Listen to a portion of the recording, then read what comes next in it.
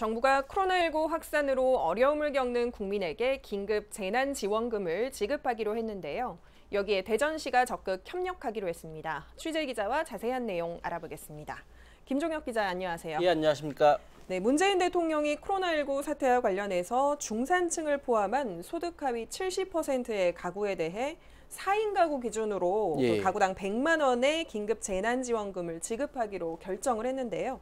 대전시도 방안을 내놨다고요? 예, 정부가 재난 상황과 관련해 전체 가구의 70% 긴급 지원금을 지급하기로 어, 했는데요. 정부가 기, 긴급 재난지원금 대상으로 정한 소득 하위 70% 가구는 약 14,000만, 아니 1,400만 가구에 이르는 것으로 보입니다.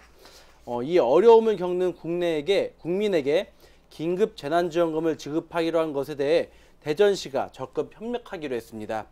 앞서 대전시가 자체적으로 마련한 희망홀씨 긴급 재난 생계 지원금은 정부 긴급 재난 지원금과 별개로 추진하기로 했습니다. 어, 허태정 대전시장 브리핑을 준비했는데요. 한번 같이 보시죠. 어, 금일 어, 정부는 대통령님 주재의 제3차 비상경제회의를 개최하고 어, 중산층을 포함한 어, 소득 하위 70% 가구에 대해 4인 가구 기준 100만 원의 긴급 재난 지원금을 지급하기로 결정하였습니다. 이 같은 정부의 결정에 대해 대전시는 환영의 뜻을 전하며 우리 시도 이에 발맞춰 적극적으로 중앙 정부와 협력하여 차질 없이 신속하게 시행되도록 하겠습니다. 우리 시는 자체적으로 계획한 대전형 긴급 재난 생계 지원금을 우선 지급하고 이와 병행하여 정부가 오늘 발표한 긴급 재난 지원금의 세부 계획에 맞춰 준비해 나가도록 하겠습니다. 이미 기 편성된 대전형 긴급 재난 생계 지원금은 온라인과 오프라인을 통해서 신청토록 하고 구체적인 신청 방법과 시기에 관해서는 자치구와 협의를 통해 금주 중 발표하도록 하겠습니다. 4월 총선 이후 정부의 2차 추경 편성이 예상되는 만큼 대전시도 여기에 맞춰 추경을 편성하여 정부가 오늘 발표한 지방비 분담금을 전액 확보해서 반영해 나가도록 하겠습니다. 재원 마련과 관련하여 여러 가지 어려움이 있습니다만 세출 구조조정, 각종 기금의 전용을 통해 지방비 부담금 재원을 확보하고 이것 또한 지역 화폐로 지급하여 지역 경제의 선순환을 유도해 나가도록 하겠습니다. 우리 시는 지금 상황이 매우 심각한 비상 경제 시기임을 인식하고 모든 재원과 자원을 총동원하여 서민 생활 안정과 경제 활력 회복에 최선의 노력을 다해 나가도록 하겠습니다. 이상으로 어, 경제 관련 긴급 브리핑을 마치도록 하겠습니다. 네, 브리핑 만나보셨습니다. 지금 전국 각 지자체에서 급여 기부가 이어지고 있는데요. 충남도에서는 양승조 충남도지사 외에 14개 시군 지자체장이 합동 기자회견을 열었는데요. 4개월간 급여의 30% 반납을 약속했다고요. 예, 양승조 충남도지사와 도내 시장 군수는 코로나19의 어려움을 겪고 있는 도민들의 고통을 분담하기 위해 급여 일부를 반납하고 또 공직자 전원이 성금 모금 운동에 동참한다고 밝혔습니다. 이와 함께 코로나19 대응 중점 추진 사항과 향후 계획을 발표했는데요. 양승조 충남 도지사의 브리핑도 준비했습니다. 같이 보시죠. 충청남도와 시군 모두는 코로나19 대응을 위해 한마음 한뜻으로 힘을 모으고 긴밀하게 협력해 나가면서 이 위기를 함께 헤쳐나가고 있습니다. 특히 오늘 이 자리에서 저와 14개 시장 군수님은 코로나19로 어려움을 겪는 우리 도민들의 고통을 분담하기 위해 급여 반납에 동참하겠다는 말씀을 드립니다. 반납할 금액은 월급의 30%이며 총액은 1억 4,200만 원 규모가 될 것입니다. 여기에 대해 충남도청 공직자 5,900여 명 또한 자율적으로 성금 모금에 동참하기로 했다는 점을 말씀드립니다. 김태신 노조위원장을 비롯한 여러 공직자 여러분께도 도민을 대표해서 진심으로 감사드립니다. 저는 우리 이와 같은 참여가 어려움을 겪고 있는 이웃들에게 희망과 용기가 되고 생활 안정에 조금이나마 보탬이 되기를 소망합니다. 국가적 위기 앞에 솔선수범하시고 사회적 책무를 다해 주시는 가운데 흔쾌하게 동참해 주신 시장님, 군수님, 그리고 공직자 여러분, 도 공무원 노조, 공무직 노조 임원진 여러분께 진심으로 감사를 드립니다. 그럼 먼저 도내 확진 환자 발생 현황에 대해 설명드리겠습니다. 지난 2월 22일 우리 도에서 첫 확진자가 발생한 이래 40여일이 지났습니다. 현재 도내 확진자는 총 128명이며 이중 88명이 완치되어 격리 해제되었고 현재 39명이 입원 치료 중이며 금일 발생한 부여 확진자 1명은 공조 의료원으로 이송하였습니다. 다행스럽게도 고위험 연령대인 10대 미만 6명과 70대 이상 2명은 모두 완치되어 퇴원하였다는 말씀을 드립니다. 우려스러운 것은 확진자 중 해외 유입자가 총 7명으로 이제 우리 도내에서도 해외 유입에 대한 부담이 더욱 커지고 있습니다. 정부가 모든 입국자에 대해 2주간 의무적 격리 조치를 확대하기로 밝힌 만큼 우리 지역사회에서도 해외 입국자의 관리 강화에 보다 집중해야 할 때가 되었습니다. 우리 충청남도는 도내 주소를 든 입국자 중 정부의 강화된 관리 방침 이전에 입국한 사람뿐만 아니라 3월 27일 이후의 모든 입국자에게도 무료 검사를 지원하고 있습니다. 앞으로 도에서는 더 막중한 책임감을 갖고 해외 입국자 관리를 강화해 나가겠습니다. 특히 KTX 전용칸을 통해 이동하는 해외 입국자 관리가 중요합니다. 도에서는 천안함산 KTX역에 개방형 선별 진료소를 설치하여 내일부터 이곳에 해외 입국자들에 대해 검사를 받을 수 있도록 하겠습니다. 또 지난 28일 논산 사랑 요양병원에 근무하는 종사자가 확진 판정을 받으며 집단시설 감염에 대한 우려도 커지고 있습니다. 다행히도 이 병원에 근무하는 종사자와 환자 모두를 검사한 결과 종사자 108명, 외래투사 환자 34명, 또 입원 환자 174명까지 전원 음성으로 최종 확인되었습니다. 도에서는 해입국자 관리와 함께 고위험 집단시설 종사에 대한 검사와 관리도 더욱 빈틈없이 진행해 나가겠습니다. 먼저 시급성을 감안하여 확진자가 발생한 다섯 개 시군을 대상으로 우선적으로 진단검사를 실시하고 있으며 앞으로 15개 시군 372개소 13,000여 명의 고위험 집단시설 전 종사자에 대해서도 전수검사를 진행하도록 하겠습니다. 존경하는 도민 여러분, 전 세계적으로 코로나19의 확산세가 빠르고 또 광범위하게 확산되고 있습니다. 3월 29일 현재 세계 204개 국가에서 71만 명이 넘는 환자가 발생하였습니다. 특히 유럽과 미국을 중심으로 빠른 속도로 감염자가 증가하고 있습니다.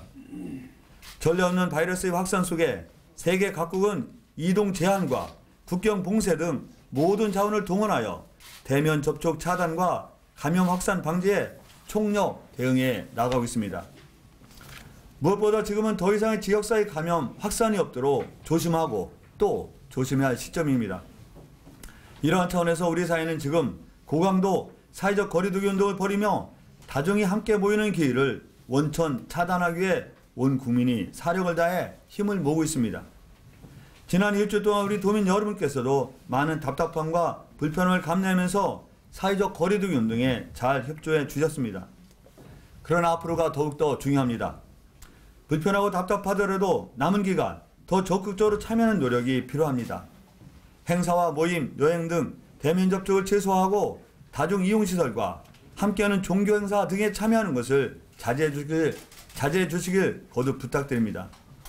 우리 도에서도 전 직원이 17% 이상이 이 기간 동안 매일 재택근무를 하고 있고 구내 식당과 회의실 등 각종 시설에는 모두 투명 칸막이를 설치하여 사회적 거리두기 운동에 앞장서고 있습니다. 또 선제적으로 음식점 행동 수칙을 마련, 도내 식당과 함께 자율적 실천 운동을 대대적으로 전개해 나갈 계획입니다. 앞으로 우리 도에서는 도민들의 삶과 안전을 지키기 위해 민간의 자율적 참여를 유도하는 사회적 캠페인을 확대하는 가운데 사회적 거리두기 이행 상황을 더욱 꼼꼼히 점검하고 이를 이행하지 않는 시설에 대해서는 보다 강력하고 단호한 시정 조치를 취해 나갈 것을 분명히 말씀드립니다.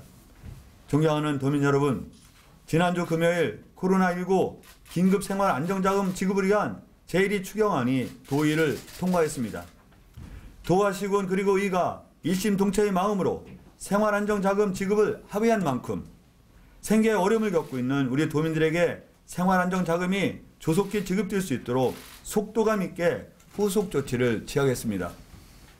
도하시군이 긴밀하게 협조해서 최소한의 절차만을 거쳐 신속하게 집행할 수 있도록 만반의 준비를 갖추고 모든 행정력을 총동원할 것이라는 말씀을 드립니다. 시군별로 의아 추경 일정 접수와 신청 기간이 조금씩 다를 수 있습니다. 그럼에도 불구하고 이 모든 절차와 지급 과정이 일사불란하고 또 통일성 있게 이루어질 수 있도록 도와 시군이 보다 효과적으로 대응해 나가겠습니다. 먼저 공주, 서산, 논산, 계룡, 당진, 서천, 청양 등 7개 시군에서 4월 6일부터 신청 접수를 받을 계획입니다. 도와 시군의 행정력을 총동원해서 신청과 동시에 심사 지급이 즉시 이루어질 수 있도록 최선을 다하겠습니다. 존경하는 도민 여러분, 코로나19와 사회적 거리두기로 인해 지금 지역 경제의 피해가 더없이 심각합니다. 소상공인과 자영업자 등의 경제 손실은 그 어느 때보다 막중하고 위태롭습니다. 지금 생계에 어려움을 겪고 있는 우리 도민들에게는 하루하루가 힘들고 고통스러운 전쟁터라고 해도 과언이 아닐 것입니다. 도하시군이 함께 손을 맞잡고 경제 위기도 함께 극복해야만 할 것입니다. 저와 여기 계신 시장 군수님들이 지금 어려운 우리 도민 여러분이 편에 서서 함께 방안을 강구하고 함께 이겨내겠습니다. 충청남도와 15개 시군이 충남 도민의 삶과 안전이 최후의 버팀목으로서 그 역할을 다하겠다는 각오와 다짐의 말씀을 드립니다. 도민 여러분들께서도 성숙한 시민의식을 계속 발휘해 줄 것을 거듭 당부드립니다. 무엇보다 건강이 중요합니다. 특히 심리적으로 지치지 말아야 합니다. 코로나19의 장기화로 인한 스트레스와 우울감 등이 지속될 경우 도에서 운영 중인 코로나19 통합심리 지원단을 통해 상담과 지원을 받으실 것을 적극 권유드립니다. 도민 여러분, 충남은 위기에 강합니다. 충남 도민은 고난 속에 빛을 바랍니다. 방역 현장에서 사투를 벌이는 의료진들, 묵묵히 비상금을 수행하는 공무원들, 경제 위기 앞에 다시 일어서는 시민들, 봉사와 기부로 이어지는 운정의 손길 등 코로나19의 위기 속에 우리 충남과 충남 도민은 처음부터 일치 단결하여 힘을 모았고 지금도 각자의 자리에서 저마다의 역할에 최선을 다하고 있습니다. 저는 우리 충남이 저력을 믿습니다. 코로나19 극복의 성공 사례도 우리 충남이 앞장서서 만들어 나갈 것이라고 저는 확신합니다. 지금 우리가 서 있는 이곳이 코로나19로부터 지역과 나라를 지켜내는 최후의 방어선이라는 다부진 각오로 우리 함께 당당히 맞섭시다. 네, 브리핑 함께 보셨습니다. 네, 그런데 충남에서 자가 격리 중에 무단 이탈을 해서 문제가 있었다고 하는데요. 예. 태안에서 70대 여성이 자가 격리를 하지 않아서 충남도가 경찰에 고발을 했다고요. 예, 충남도와 태안군에 따르면은 이게 미국에서 입국한 뒤 자가 격리 지침을 어기고 거주지를 무단으로 이탈한 태안군 70대 여성을 여성을 감염병 예방법 및 검염법 위반 혐의로 경찰에 고발했습니다. A 씨가 미국에서 귀국한 날짜는 지난 28일인데요. 정부는 27일 0시를 기, 기해 미국발 입국자 전원을 2주간 자가격리하도록 조치했습니다. 어, 근데 29일 날 어, 굴 채취를 이유로 주거지를 무단 이탈한 것입니다. 어, 원 치 예. 위반 때는 감염병의 예방 및 관리에 관한 법률 등에 따라 1년 이하의 징역 또는 1천만 원 이하의 벌금이 부과됩니다. 태안군은 A 씨의 자가격리 확인을 위해 어, 1차 전화 통화에서 어, A 씨의 전화가 A 씨가 전화를 받지 않았고 그다음에 1시간 뒤에 2차 통화에서도 연결이 되지 않았습니다. 담당 공무원은 경찰의 협조를 받아 A 씨 거주지를 방문했고 A 씨의 소유 차량이 없음을 확인하고 위치 추적을 진행했었는데요. 위치 추적 과정 중 A 씨와 전화 통화가 연결됐고 그다음에 태안군은 A 씨에게 자가격리 무단 이탈 사실을 고지한 뒤 즉시 거주지로 복귀할 것을 전달했습니다. 태안군은 자가격리 위반에 대한 무관용 원칙을 적용해 A 씨를 어, 경찰에 고발했습니다. 양승조 충남도지사도 자가격리 위반에 대해 엄중히 대하겠다고 했는데요. 인터뷰 한번 같이 보시죠. 예, 각자 있는 안전 그 보호 랩을 통해서도 체크가 되고 예, 충청남도만 해도 자가 격리자에 대해서 각자 전담 공무원이 예, 배치되어 있습니다. 이 전담 공무원을 통해서 예, 규정 준수 여부와 여러 가지를 문의하고 또 안전보호 랩을 통해서도 이 예, 규칙 준수 여부를 체크하고 있다 그런 말씀을 드리고요. 자가격리자들의 지침을 위반하는 사례는 아주 많지는 않지만 혹가 있습니다. 예, 자가격리자 위반자에 대해서 충남도의 대책은 중앙정부와 개를 같이 한다 이런 말씀을 드리고요. 예, 지금까지는 200만 원의 벌금이지만 4월 5일부터 이 법이 개정돼서 예, 징역과 벌금 1천만 원까지 예, 그 위반자에 대해서 제재가 훨씬 더 강화됩니다. 따라서 이런 자가격리 위반자들에 대해서는 예, 충청남도는 중앙정부와 함께 무관용의 원칙에 따라서 아주 위반자들 강력하게 예, 범에 정해진 최고한도의 예, 어떤 버- 이 위반에 제재를 갈 수 있도록 하겠다는 말씀 아울러 드리겠습니다. 네, 인터뷰 만나보셨습니다. 해외 입국자 중에서 많은 확진자가 발생하고 있는데요. 각 지자체가 입국자들에 대한 격리 방안을 마련했죠. 예, 대전시에서 오늘도 그 입국자 두 명이 확진 판정을 받았습니다. 그리고 천안에서도 어, 영국 입국자 10대 남성이 확진을 받았었고요. 세종도 그 부자가 영국에서 입국한 뒤 어, 보건소 검사를 통해서 확진자로 분류됐었는데요. 이렇듯 지역에서 해외 입국자의 확진이 잇따르면서 대전시는 현재까지 지난 14일 이후 입국한 해외 입국자에 대해 진단 검사를 실시하기로 했습니다.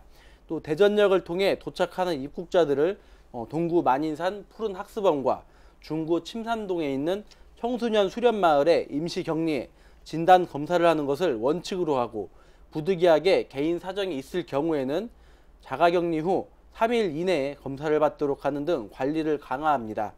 세종시는 KTX 전용 열차를 통해 해외 입국자 수, 입국자를 수송하고 오송역에서는 구급차와 어, 자기 자차를 통해 자택까지 이동하게 어, 지침을 내렸습니다. 충남도도 도내 주소를 둔 모든 해외 입국자에 대해 코로나19 전수 검사를 무료로 실시하고 있고요. 그다음에 13일부터 26일 유럽과 미국 입국자에 대해 20, 29일부터 4월 1일까지 나흘간 검사를 실시할 예정입니다. 27일 이후 모든 입국자는 입국 후 3일 이내에 검사를 받, 받아야 합니다. 도는 이 같은 내용을 도시군과 홈, 도시군 홈페이지와 도 재난 문자로도 안내하고 가까운 선별 진료소를 방문해 검사를 받도록 할 방침입니다. 네, 해외 입국자에 대한 관리가 더 강화가 되는군요. 예, 김종혁 기자 오늘 자세한 소식 고맙습니다. 지금까지 오늘의 코로나19 소식 알아봤습니다.